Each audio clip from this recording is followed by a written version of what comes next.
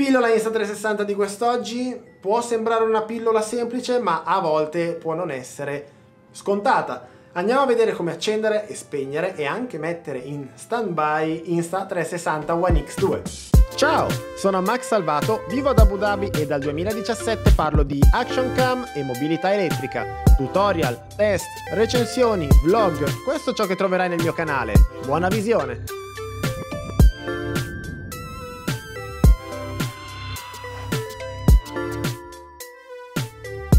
Bene, pillola di Insta360 deve durare massimo due minuti, quindi andiamo subito a vedere come accendere, spegnere e mettere in standby Insta360 One X2. Come ormai sapete tutti, Insta360 One X2 ha due pulsanti, un pulsante di shutter per far partire le riprese qui davanti e un pulsante per accendere e spegnere la telecamera o metterla in standby. Cliccando una volta la telecamera andrà ad accendersi.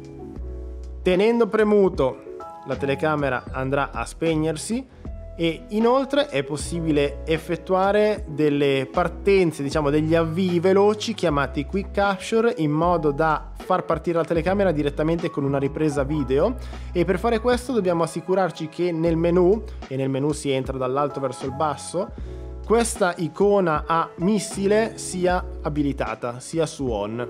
Da telecamera spenta vado a cliccare sul pulsante di ripresa, sul pulsante di shutter e la telecamera si avvia partendo con una ripresa a 360 gradi in questo caso. Andando a interrompere la ripresa la telecamera si spegnerà in automatico. Se andiamo a disattivare l'opzione Quick Capture, andando ora a cliccare sul tasto di shutter, la telecamera si accenderà ma non partirà nessuna ripresa. In questo caso per spegnerla dovremo andare comunque a tenere premuto sul lato.